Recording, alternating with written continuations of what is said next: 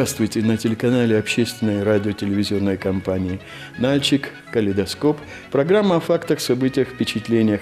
И я ее автор и ведущий Евгений Сухомлинов.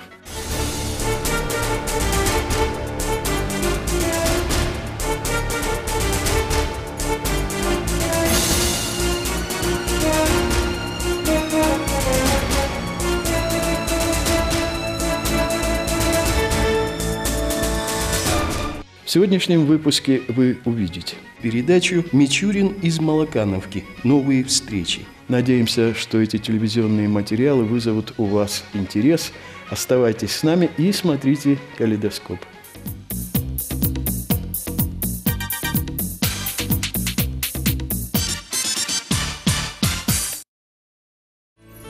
Село Молокановское находится в 120 километрах от Нальчика, на границе со Ставропольским краем. Пожалуй, оно ничем не знаменито, за исключением того, что здесь построил свое добротное садоводческое хозяйство отставной военный Александр Денисович Стерлев. Его здесь называют нашим Мичуриным. С ним мы знакомы более 10 лет и постоянно следим за его новыми успехами. Вот и сейчас мы приехали, чтобы узнать, что интересного происходит в его хозяйстве и какие советы он бы дал нашим садоводам.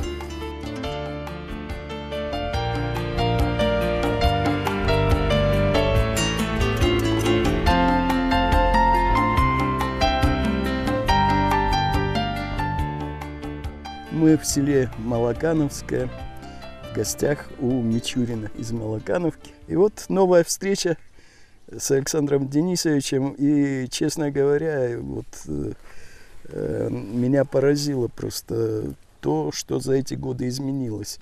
Э, я тогда был восхищен тем, что было, а сегодня вообще и приятно удивлен. И, в общем-то, я знал, что это будет интересно, я знаю, что будет что-то новое. Но чтобы настолько, Александр Денисович, не очень приятно вновь с вами встретиться. Я хочу такой вопрос задать. Вот э, Саша все-таки э, бывший военный, э, и вот так к земле прикипел, и вот такое нерукотворное создал. Я говорю, почему нерукотворное, потому что, ну, одними твоими руками это трудно сделать. Но тем не менее это сделано.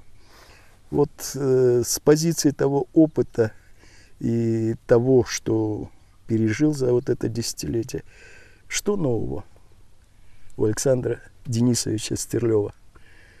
Как-то мне трудно понять, что нового. Что да. нового? За эти 10 лет что случилось? Да ничего нового не, не остается. Расширилось производство, стали более опытны. Э, опытны стали, э, поимели много новых знаний. Новые знания появились откуда? Когда наши э, бизнесмены начали сажать интенсивные сады. Потому что они начали сажать по общепринятым мировым трендам. Стало очень много понятно, что наше традиционное садоводство оно сильно отличается. В чем прелести интенсивного садоводства – в том, что это предсказуемый результат. То есть ты можешь выйти на плановый э, урожай. Не от того, что какие погодные условия и что да, да, да, принесет нам погода, а именно э, в том, что можно планировать и прогнозировать урожай, но с маленьким но, при полном соблюдении всех агротехнических требований по агротехнике, по средствам защиты, по подборке сортов, по схемам посадки. Э, те сады, которые сажаются сейчас в республике, это однозначно это украшение нашей республики. С любой стороны заедет в нашу республику, видим эти интенсивные сады, душа радуется, красиво, эстетично и самое главное, что материально целесообразно. Ну вот можно Кабардино-Балкарию назвать уже республикой садом, да?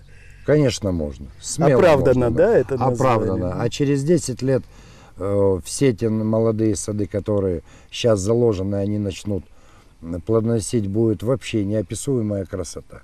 Неописуемая. Республика сад. Садоводы, виноградари. Много людей приезжает. Для всех нахожу время. Если чего-то я не знаю, я честно скажу, что я не, не бог, я всего знать не могу, но то, что я знаю, я всегда с удовольствием поделюсь. Это сорт моди трехлетний, это э, сад. Э, Обратите внимание, здесь э, формировка, которая называется бибаум. То есть вот он идет один штамп, и здесь идут два центральных проводника, их два. Поэтому называется бибаум, двойное дерево. Более сейчас э, конкретно и в сравнении с другим я покажу. Здесь э, интенсивный сад, но шпалера невысокая. Шпалера стандартная виноградная, но чтобы конец, э, когда дерево вырастет, его верхушка не заламывалась, около каждого дерева поставлен бамбук. То есть систем выращивания интенсивных садов их очень много. Не обязательно это должен быть загнано в какой-то шаблон. Поэтому я выбрал такую систему. Почему такая система? Без высокой шпалеры.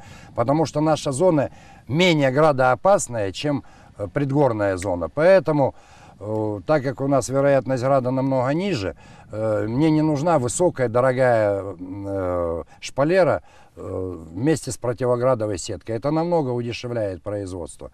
Поэтому э, каждая система ведения, она рассчитана на определенную зону.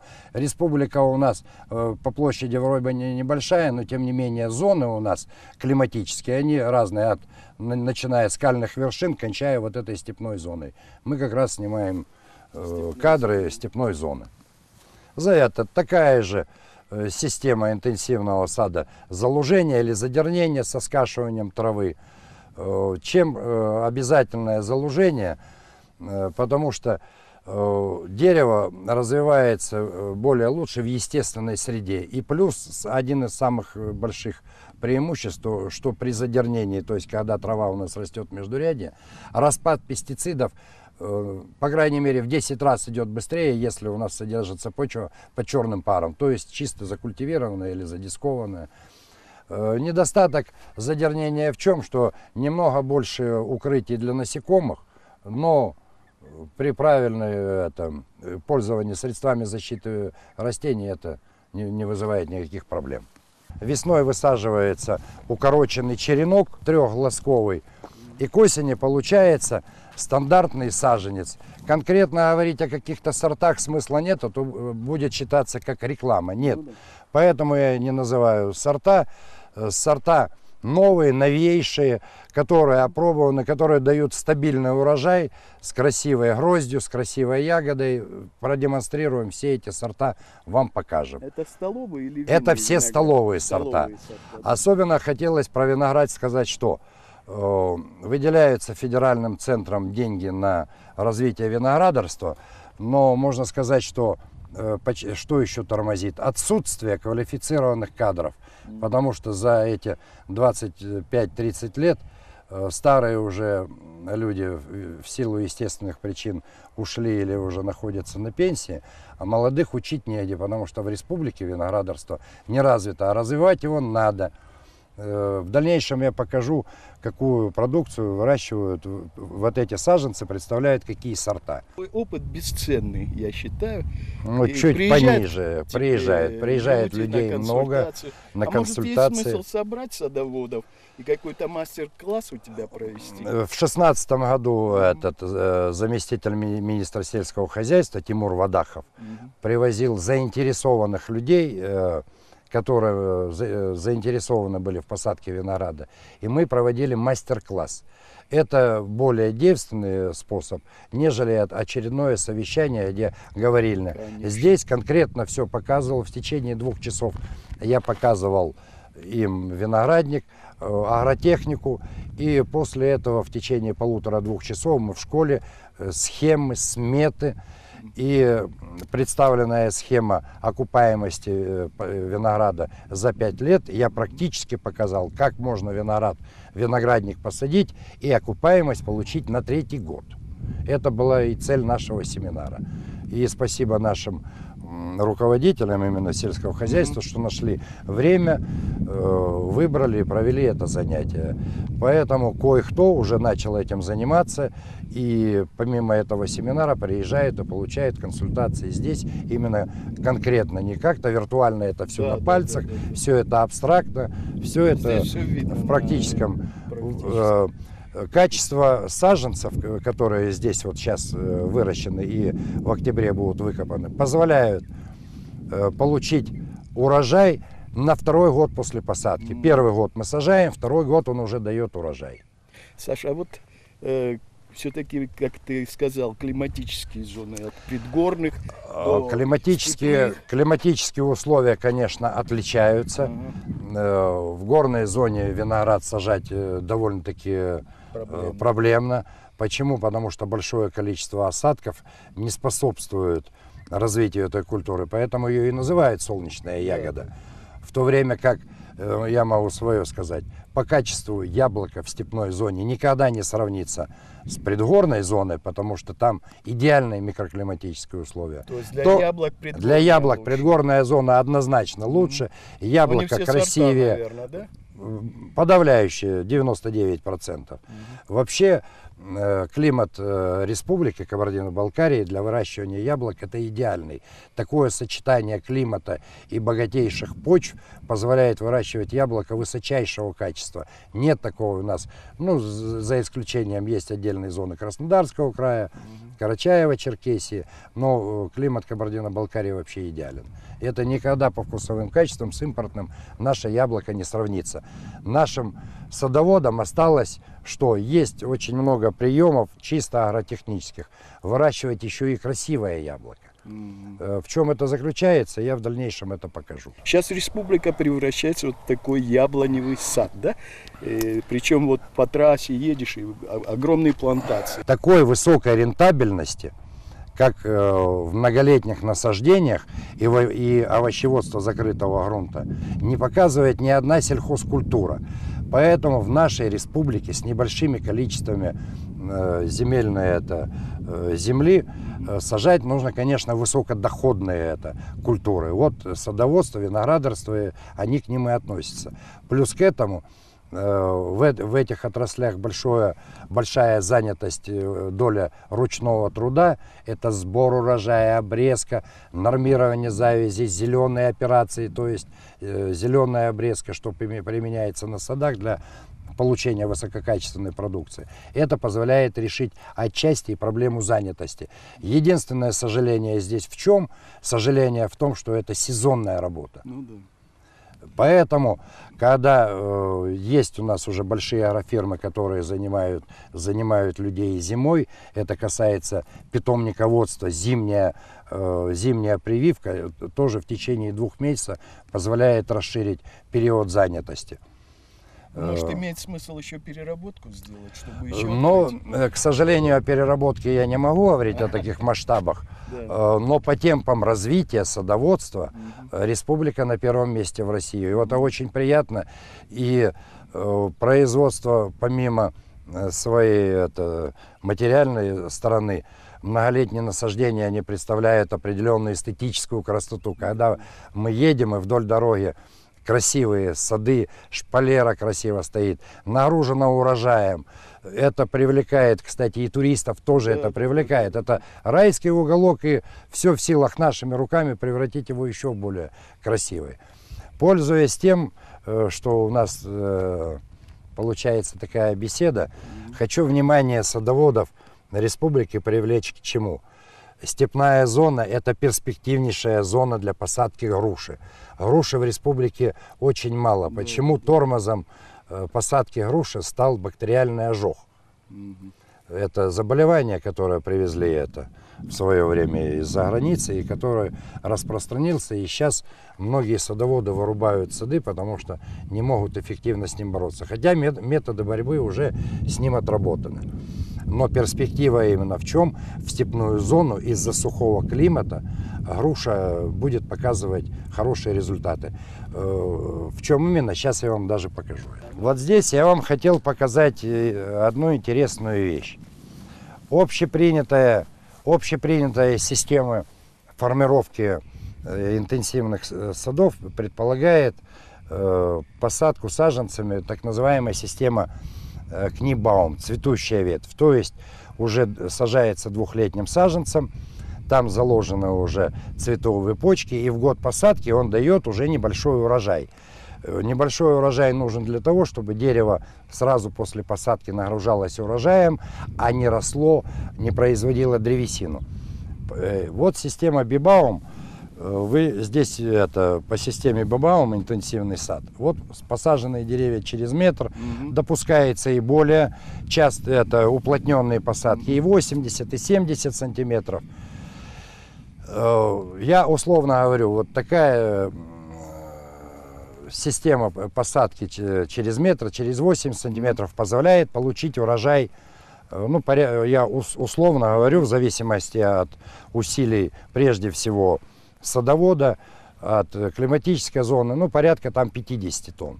В свое время на Западе предложили систему бибаум. Вот здесь вы ее можете увидеть. Бибаум это двойное дерево. То есть мы видим его один штамп, и на нем формируются два отдельных дерева, такое же, как э, мы сейчас видели вот этот. Э, при путем привития. при, э, я объясню. При, если мы посажено через, э, грубо говоря, метр, у нас урожайность э, получается 50 тонн. Если у нас посажены деревья через 50 сантиметров, у нас урожайность 60 тонн. Я не- ну, так относительно абстрактно это говорю. То есть, чем больше площадь, э, плотность посадки, тем выше урожайность. Вот при этой системе у нас получается де-факто деревья, посаженные через метр, а отдельные деревья, получается, растут через 50 сантиметров. И вот одинаковый возраст деревьев, здесь визуально даже видно, что здесь урожайность выше. Система Бибаум позволяет еще э, что? Ограничить рост э, дерева, два, э, два отдельных центральных проводника, два штамба растут медленнее, чем нарастает один. И общая высота из-за этого получается меньше. И второе преимущество этой системы. э, При такой системе деревья э, меньше подвержены периодичности плодоношения. То есть, когда один год большой урожай, на следующий год урожай намного меньше. При такой системе сглаживается периодичность плодоношения. И сейчас вы можете увидеть вот с этой точки, что здесь урожайность выше, чем здесь. Да, да. Ну, правда, не, несколько э, опыт нельзя назвать чистым. Почему? Потому что Ну, это разные сорта. плоды, Да, это но это, это разные сорта, но общую идею, я думаю, наш зритель э, прекрасно поймет. Здесь э, при этой системе э, эти ветки формируются ниже, в этом месте. Вот отсюда они идут. Я сейчас покажу э, правильную систему бибаум. Но у меня вынужденная мера была. Почему? Прививка делалась здесь. и Я боялся, при, у нас зона сильных ветров, что об вот эту проволоку, капельную линию, у меня прививки разобьет. Поэтому делается она ниже, делается на, на высоте 20, это 15-20 сантиметров. Сейчас я покажу э, правильную формировку. Система называется бибаум. Выращивание саженцев бибаум, то есть двойная ветвь. И когда станет э, здесь уже постоянно, это временная опора, то вот эти штамбы, вот они будут через 50 сантиметров. Я не знаю, есть или нет, но я думаю, что в республике грушу по Бибауму еще это, по системе Бибаум еще никто не сажал. Если у кого-то когда-то возникнут вопросы, то ради бога могут обращаться ко мне. И вот так они через полметра будут расти. Вот правильная формировка Бибаум. Ну, груша это у тебя новый опыт, да?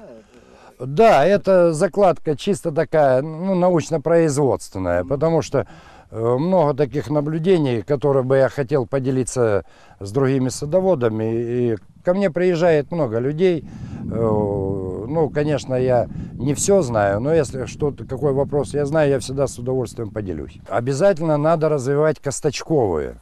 Э, э, Прежде всего черешня. Для черешни тоже у нас очень благодатный климат. Э, Но культура, у нас специалистов по черешне почти нет. Черешню нужно развивать, потому что на рынке черешни почти нет. Кто на свой страх и риск начинает, кто ошибается, у кого-то хорошо получится. Но без этого не бывает никакой работы. Но надо развиваться, надо заниматься обязательно персиком. Надо заниматься абрикос. Ну, персик Э, капризный. Не капризное ничего, все, все это делается. Мгм. И персик, он дает урожай даже более стабильно, чем абрикос. Мгм. Поэтому с абрикосом, абрикосу надо бы, конечно, но трудно конкурировать с Дагестаном. Да. У них климатические условия больше ему соответствуют. А персик, прекрасные сорта сейчас есть, можно выращивать у нас. У нас персик погибает не от мороза. У нас персик погибает от болезней. И кто не умеет э, защитить от болезней, тот никогда персика не получит. А много новейших сейчас сортов, э, некоторые в этом году уже давали мне урожай, э, плотный, твердый, э, транспортабельный. Здесь выращивать вези куда угодно. И все равно это... У него же очень большая, высокая, небольшая, высокая урожайность. Персиком тоже заниматься надо. Ну, Я видел, у тебя в саду даже гранат растет. Ну, гра- гранат растет, э, да. Там хитрость выращивания граната тоже небольшая. Если кому-то интересно, я ему в частном порядке объясню. Можно и у нас вполне э, вкусный получать гранат. Э, поэтому, да все можно выращивать. На нашей земле грех что не вырастет. Поэтому, когда я слышу зона рискованного земледелия, если у нас зона рискованного земледелия, да, я не знаю, где еще можно тогда в России выращивать. У нас один из самых благодатных климатических условий, да с таким трудолюбивым народом. Все, всегда можно все получится. Интенсивные сады, э, срок их плодоношения 20 и больше лет. Но за 10 лет происходит моральное устаревание сортов. Поэтому мы придем к агротехнике, когда мы получаем 7, максимум 10 урожаев, сад корчуется, в междурядьях сажается заново, э, убирается шпалера, и в междурядьях сажается уже новый сад. Новыми сортами, потому что, как бы то ни было, рынок сейчас уже не ест языком, рынок ест глазами. Поэтому, э, при, но тем не менее, при даже больших затратах на такие сады, все это окупается, но это позволяет быть постоянно в струе новых, новых сортов. Потому что завтра появится яблоко синее в желтую клеточку, и вот тоже будут брать, потому что такого они не видят. Но я это немножко говорю это утрированно, э, но это. О сортах мы тоже не будем говорить. Э, Обращаю внимание садоводов на что?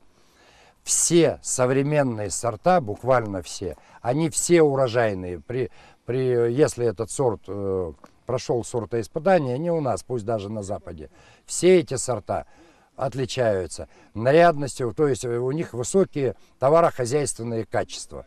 Поэтому даже не нужно э, говорить о том, что какой сорт лучше. Нету идеального сорта. Э, Все сорта хороши и по цветовой гамме, по вкусовой гамме. Э, Урожайность у них сравнительно у всех одинаковая.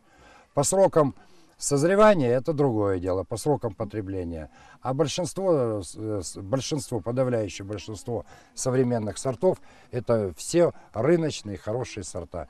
Э, Может быть конъюнктура по регионам отличаться, а все они востребованы. Мнение. Вкусовые качества, на мой взгляд, имеют решающее значение. Ведь когда вот товарный вид хороший, а его откусишь, оно как трава. Но это опять-таки, это опять-таки э, вкусовые пристрастия. Кто-то э, никогда, любит. да, кто-то любит кислое, кто-то не, не терпит кислоты. М, Поэтому на вкус и цвет очень много здесь. да, Друзей не Э, выбирают. Да, да, да. Понятно. Э, Это, э, э, наше хозяйство, чем мы занимаемся?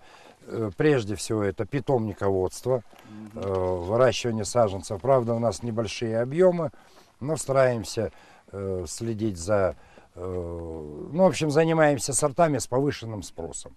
То есть это Вот это современные убранные, сорта. да, или это не убранные, здесь это, это новый сад, это, Новый двух, сад просто. это двухлетний сад, Мгм. э, который на следующий год уже даст э, хороший урожай.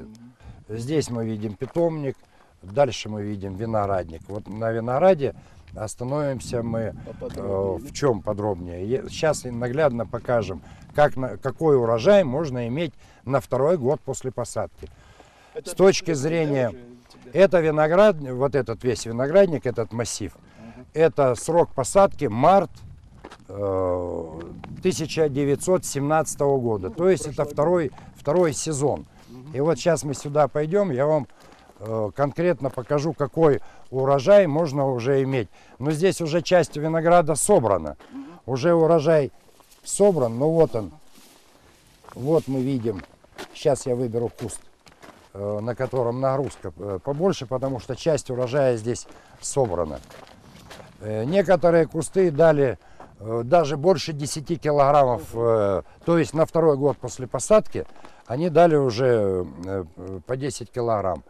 Э, Особенность винограда в том, что э, его окупаемость, получение с него продукции даже быстрее, чем происходит на сад- э, в саду. Но не нужно забывать о том, что виноград, культура, вот, вот там хорошо это видно, вот, вот там, вот он. Вот он на второй год посмотрите. после посадки, вот он урожай, это другой сорт. Виноград намного сложнее культура, намного сложнее культура. И капризнее, наверное, да? Это сорт, это сорт монарх. Этот сорт отличается э, прежде всего тем, что он имеет крупную нарядную ягоду. Но на молодых кустах, пока у него не, не образовалась мощная древесина, и ягода, и размер кисти намного меньше, чем на взрослых кустах. Это особенность винограда. Э, На яблоне этой особенности нет. Там что молодое дерево, что взрослое дерево, оно дает одинаковый урожай. А молодые кусты, у него ягода и кисть у него мельче. Вот, пожалуйста. Вот. Этот год, правда, э, очень небла- неблагоприятный для винограда. В чем? Потому что прошло два мощнейших ливня э, в период уже созревания винограда. Про- Происходит, э, ягода лопается и начинает загнивать. Но цель э, посадки этого винограда в том, что э, прежде всего, э, чтобы он дал уже урожай, э, свой, свой мощный урожай на следующий год. Э, И на примере этого виноградника э, я показываю, как на третий год после посадки можно получить окупаемость проекта. На взрослом винограднике и здесь сортовой ассортимент э, тот же, но поменялась структура. Э, Те, потому что за 20 лет занятия виноградом уже накопился большой опыт, и э, в размножении идут сорта, которые устойчивы вот, к растрескиваниям, если аномальные происходят погодные условия, которые дают постоянный урожай, у которых нет проблем. Если попадается как какой-то ценный сорт, но он требует особого к нему подхода, то такой сорт нами, конечно, бракуется. Почему? Потому что у нас э, небольшое, но промышленное производство. И над каждым отдельно сортом плясать это удел любителей. Наше дело производить товарную продукцию для нашего потребителя. Любитель он производит для себя, мы производим виноград для рынка. Поэтому отрабатываются все агротехнические приемы для снижения трудоемкости, для, э, это, для уменьшения затратности производства, ну, для, для того, чтобы получить э, минимальную, это, с минимальной э, себестоимостью продукцию. Вот он, второй год после посадки, вот он. Вот, второй год. Это сорт называется кишмиш лучистый. Кишмиш лучистый является лидером продаж. Сорт монарх и кишмиш лучистый это лидеры продаж. Почему? Потому что каждый второй покупатель, когда уже кишмиш начинает созревать, просит кишмиш. Кишмиш хорош чем? Э, Что у него очень гармоничный вкус, относительно крупная ягода, э, красивый внешний вид и отсутствие семечки. Для детей это вообще изумительный сорт. А его вкусовые качества перед вами вы можете попробовать. Пожалуйста, это. Поэтому этот виноградник, э, он э, сортовой состав такой же, как здесь, за исключением тех сор- э, сортов, которые уже становятся нетехнологичными. Поэтому проводится вот такая естественная сортоиспытание, чтобы определить, вот он, вот эти кусты показывают, тоже убедительно показывают, какой урожай можно иметь на второй год после посадки. Вот он. Вот здесь хорошо заметно. Но основная задача второго года это, конечно, не получение урожая, а уже получить окончательную формировку куста, чтобы на третий год его максимально нагрузить и получить уже хорошие материальные дивиденды. Вот это плодоносящий сад без высокой шпалеры. Вот он э, здесь, видите, подвязано, да, шестилетний сад, вот он подвязан к бамбуку. Но урожай в этом году э, несколько меньше, чем в прошлом. В прошлом году был очень большой урожай. А потом была очень сухая осень.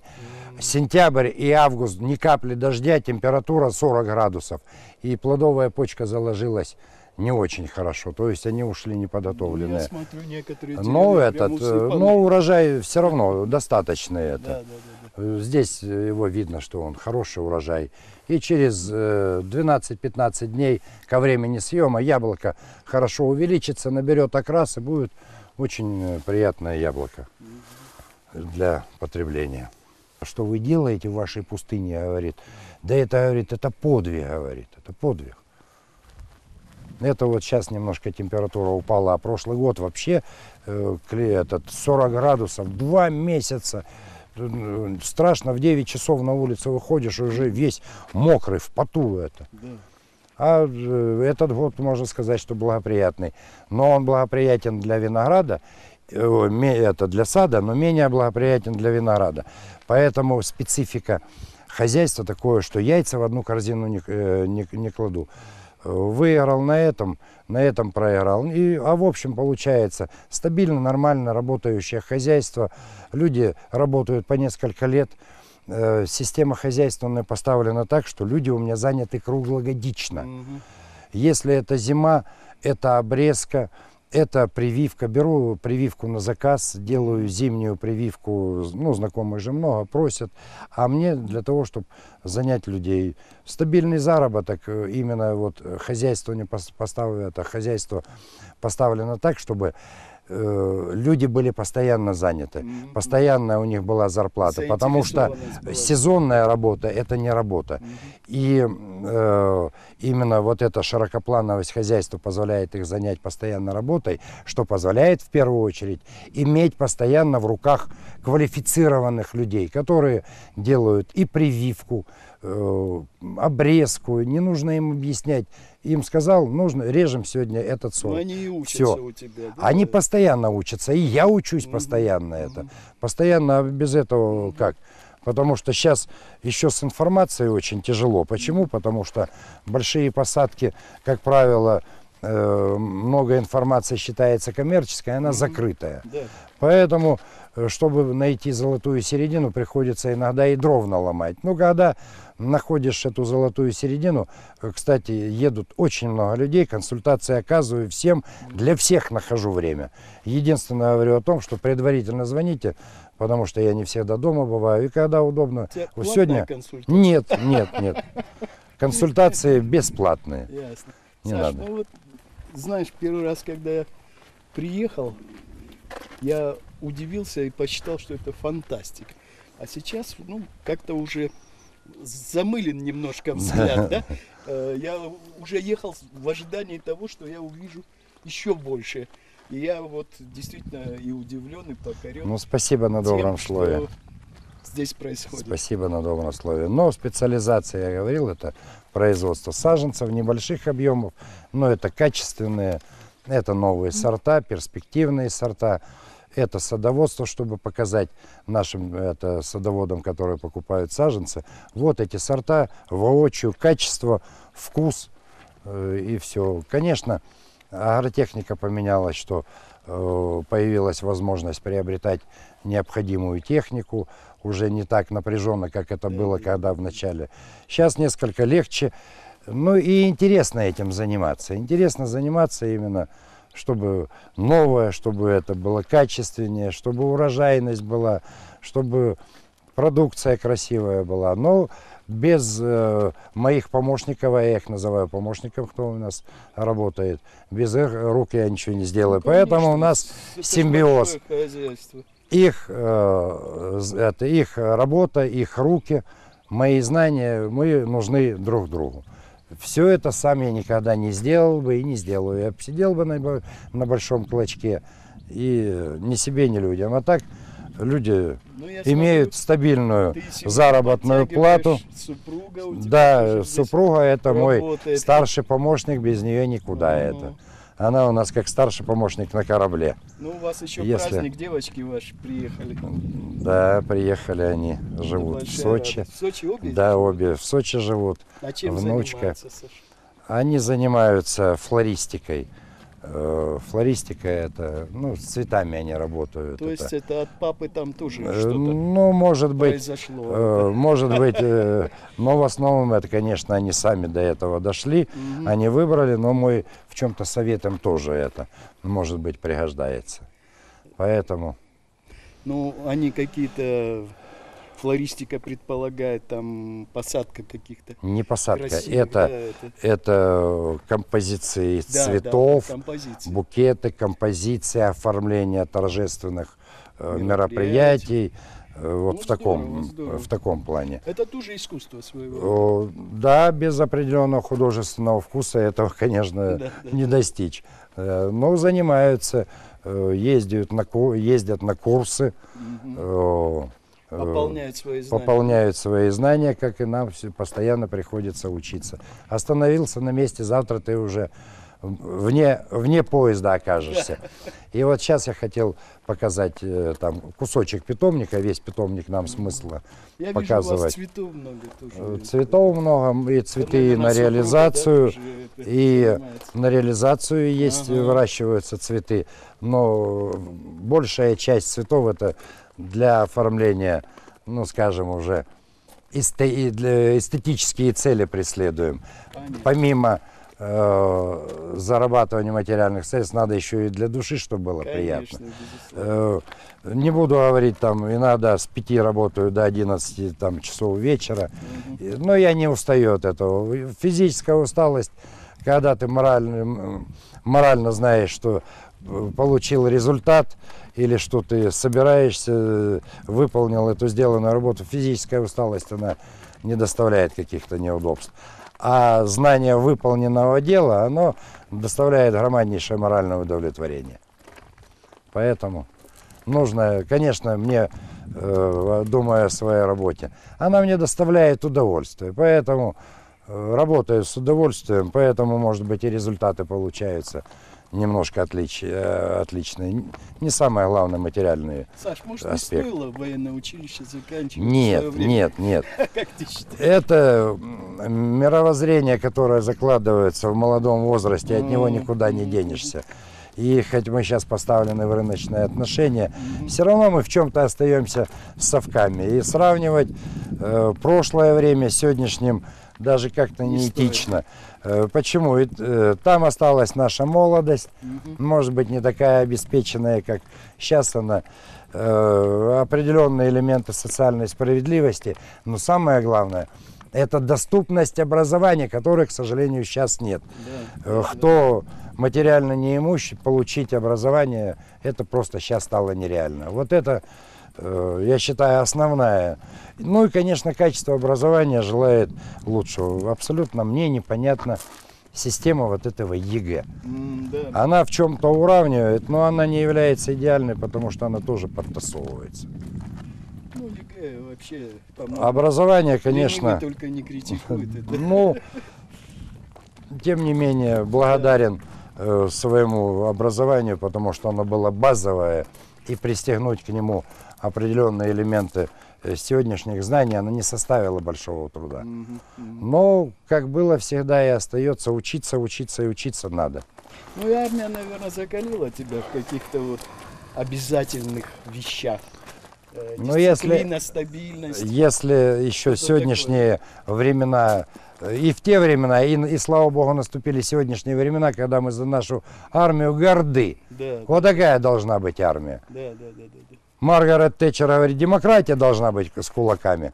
А я считаю, что у России добро тоже иногда нужно доказывать кулаком. Поэтому, но это мое личное мнение. Я не знаю, насколько оно различается с мнением других людей. Но именно сейчас время такое, что не этот Мне приятно, что у ар- армии сейчас вернули тот авторитет, но и она своими делами показывает, что нам можно спать спокойно и заниматься садоводством, на- кормить наших потребителей. Ну, сейчас давайте пройдем на питомник. Видишь, какая слива крупная? Вот он, это крупноплодный сорт, вот она, вот, крупная слива. Длина ее 7 сантиметров, вес порядка 120 грамм. Слива поздняя это. Да, 10 слив килограмм. Ягодные культуры – это попроще культуры. Мне ими не интересно заниматься. заниматься. Они интересны с точки То есть зрения там коммерции. там, Э, малина, Малина, всё. ну, при- прежде всего, это садовая земляника, Ну да, да, которую у нас ошибочно называют клубника. Садовая земляника. Сейчас бесподобные сорта, отработанная технология, интенсивно, хороший урожай, хорошие деньги. Э, В чем ее сложность?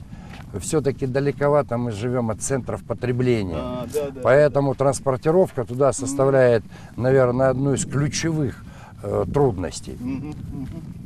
Э, Ну, это мне не близко, поэтому Да. я не занимаюсь. Но заниматься нужно всем. Что, вот тоже- что кто занимается у нас выращиванием овощей или кукурузы, они что, менее, что ли, достойны уважения? Нет, это- это- они работают, занимаются тем, что они хорошо знают, получают хорошие результаты, честь им и хвала это. Просто э, в чем отличие многолетних насаждений? Самое главное отличие в них в том, чтобы добиться хорошего результата, нужно э, большой объем знаний. Э, Большой объем знаний, когда в полеводстве, э, вернее, в полевое, взять тоже полеводство, если заняться производством гибридных семян, это тоже, это высокорентабельная область.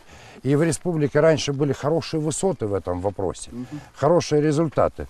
Поэтому экономически нецелесообразно заниматься э, некоторыми культурами, которые, вот они, э, производство зерновых.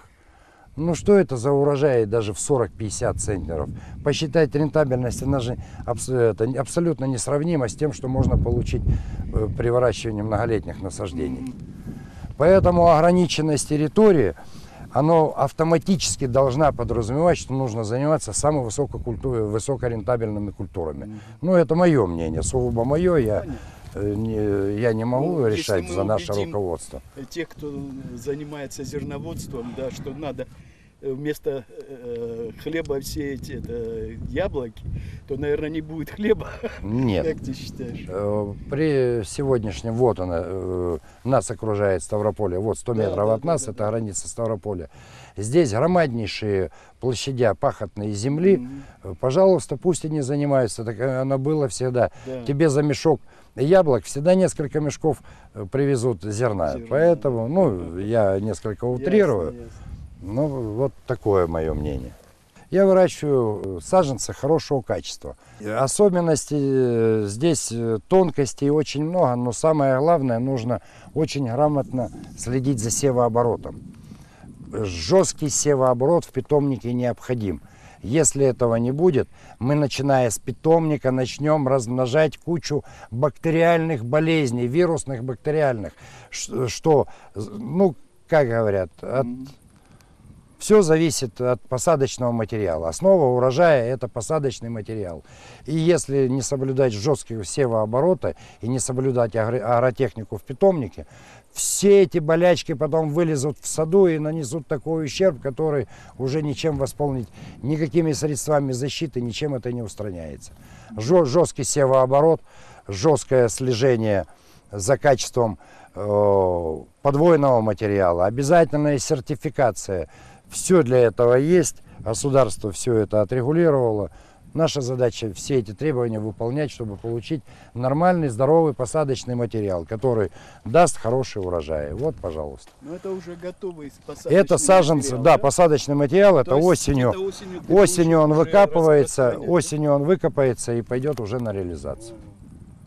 Прекрасно. И вот для, нашей, для нашего выращивания обратили внимание, что вся территория ветрово, это ветроломные и ветрозащитные полосы. Это обязательный атрибут.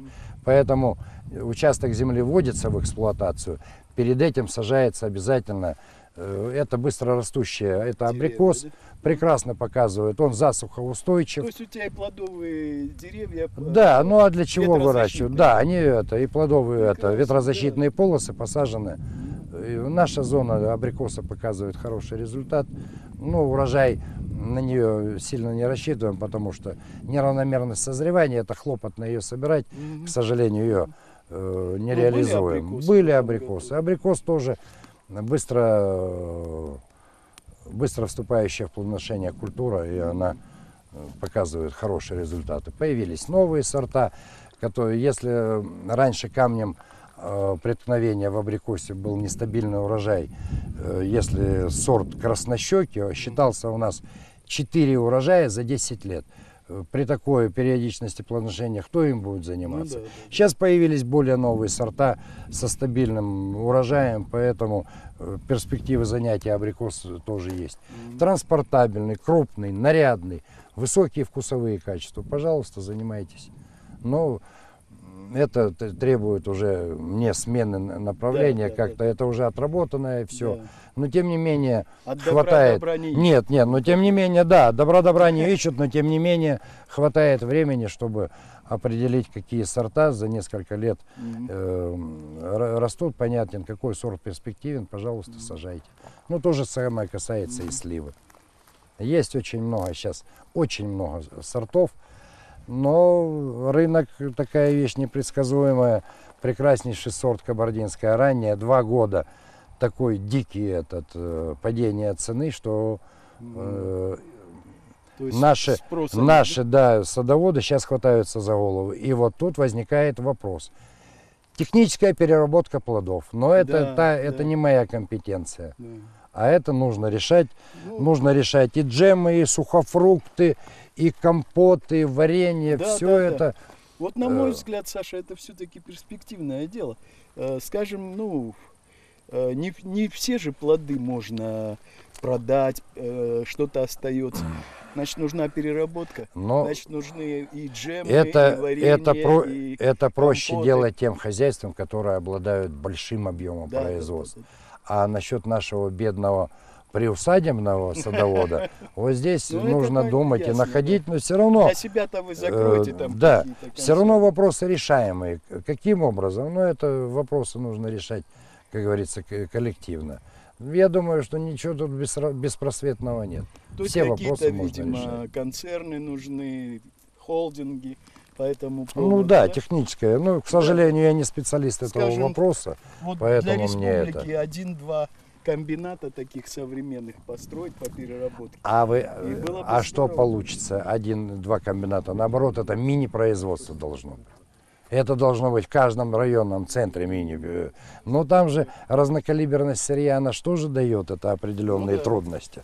Это сортоиспытательный участок небольшой, мой импровизированный. Здесь порядка 15 сортов черешни. И э, уча- этот, э, черешни здесь 7 лет. За 7 лет вполне уже сорта проверены.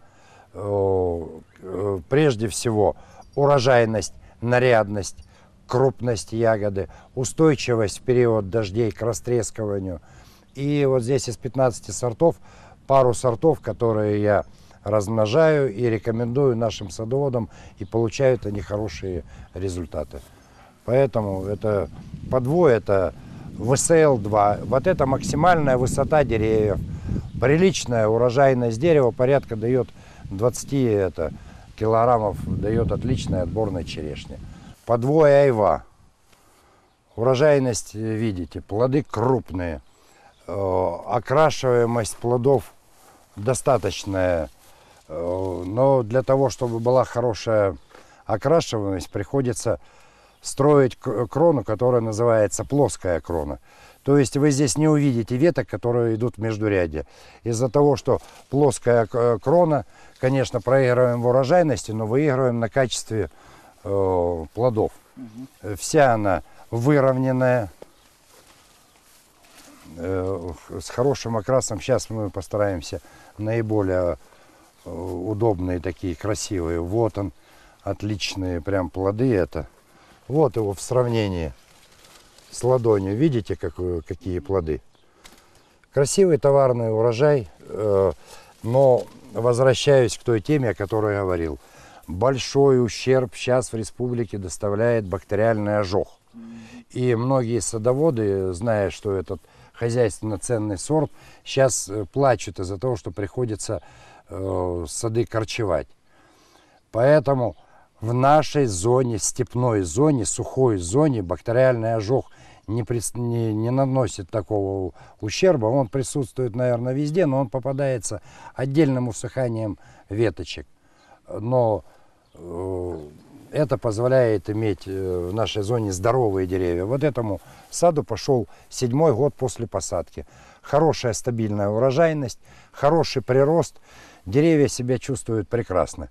Поэтому перспектива переноса центра тяжести на степные районы, которые э, у нас э, не так притягательны с точки зрения яблони, э, но для груши это очень перспективный район. Прохладнинский, Терский район, mm. это высокие будут показатели по груше.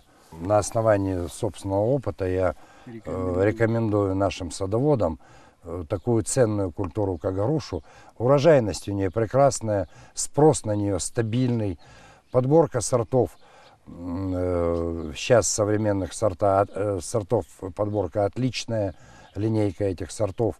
Поэтому разные от ранних сроков и кончая для, для потребления плодов в, зим, это, в зимний период. Поэтому, пожалуйста, занимайтесь, уважаемые нужно сделать цветущую республику с хорошим уровнем дохода. И садоводство является вот одной из тех палочек-выручалочек, на которую стоит ставить ставку.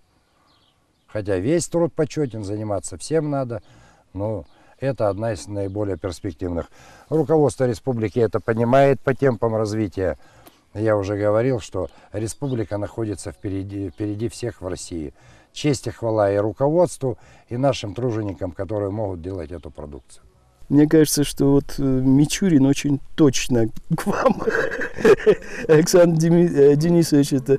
Ну. прилипло вот это вот ну, прозвище в хорошем смысле этого ну, слова. Ну, конечно, я не обольщаюсь, я далеко не тот великий наш ученый-селекционер. Ну, конечно, такое прозвище мне импонирует но и стараюсь своей работой отчасти э, теми результатами, которые получаем, соответствовать этому прозвищу. Вот так. Александр Денисович, ну вот э, есть такие какие-то вот, ну, посадил дерево, э, построил дом, родил детей.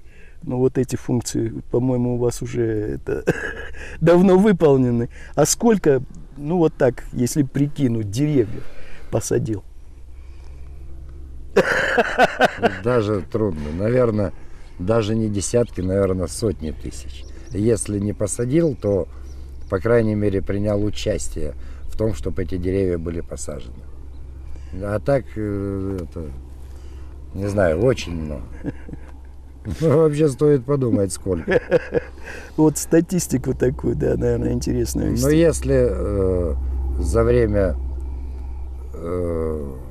чем я этим занимаюсь, ну, вырастил, наверное, не меньше 300 тысяч саженцев. Эти 300 тысяч саженцев, это, это 300 тысяч э, деревьев. деревьев выросло. А если считать в среднем, на интенс... даже на интенсивный сад, если идет 3 тысячи, это 3,5 тысячи деревьев, ну, это получается около, наверное, 100 гектаров интенсивных садов. Это таким, э, так или иначе связано с, с моим Мичуриным. участием, да, с, с моей работой. Вот такая арифметика, так что. Вчера был день рождения у вас замечательной супруги Зульфиры, э, и вы вместе уже 37 лет. Э, я вижу, что у вас вот такой хороший союз образовался.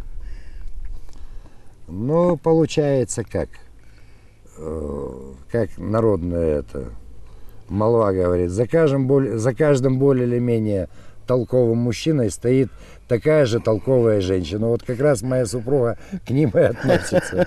Потому что она моя тень, но лавры мне, а работа общая. То, что ваш труд востребован, что требуется консультация ваша, э, многие приезжают э, к вам за советом. Наверное, это тоже вызывает какую-то гордость определенную, Конечно. что вы вот нашли свою нишу у нас в республике. Конечно, это доставляет очень большое удовольствие. Э, Почему? Потому что э,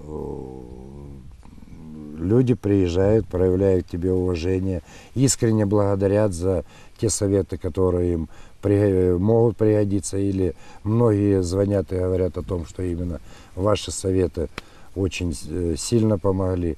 Благодарят за э, хороший посадочный материал, говорят, прекрасный сад, дай Бог вам здоровья и прочее. И, конечно, удовлетворение, что жизнь прожита ненормально. А почему я делюсь с людьми, э, могу сказать следующее. Жизнь Все мои знания, не зря. все мои знания, они не врожденные, они приобретенные. И поэтому на тот свет я его несу, я с удовольствием делюсь, потому что было очень много людей, которых сейчас уже нет, которые этими знаниями со мной делились. Я же не на ровном месте э, стал обладателем определенных знаний. Поэтому, как это пришло, таким же образом нужно это и отдать. Вот она одна из целей для того, чтобы свою жизнь не считать никчемной.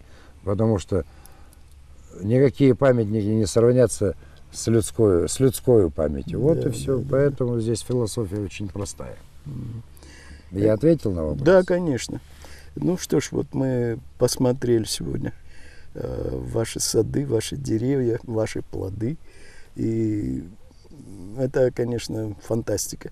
Я считаю, что вот э, то, что создан такой сад, такой питомник, это, конечно же, огромный труд. Огромный человеческий труд, каждодневный причем.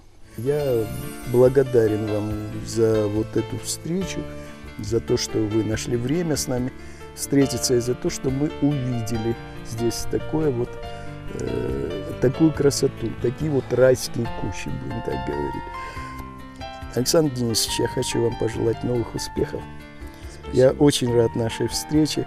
Далековато к вам, конечно, Далековато, ехать, далековато. но тем не менее это доставляет всегда радость. Спасибо. Успехов вам, удачи. Спасибо. Я как говорю, я все пожелания воспринимаю только взаимно. Поэтому прежде всего вам спасибо, что в течение 10 лет вы курируете, э, что с моей стороны тоже заставляет показать что-нибудь новенькое, что-то лучше.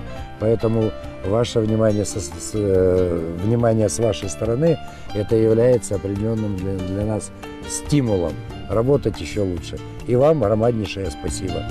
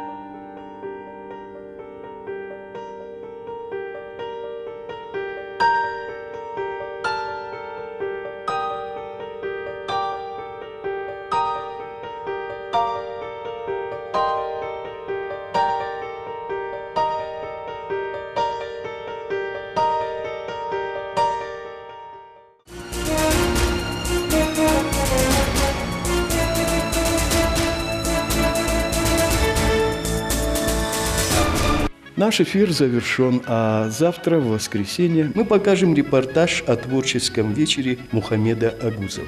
Берегите себя. Всего вам доброго.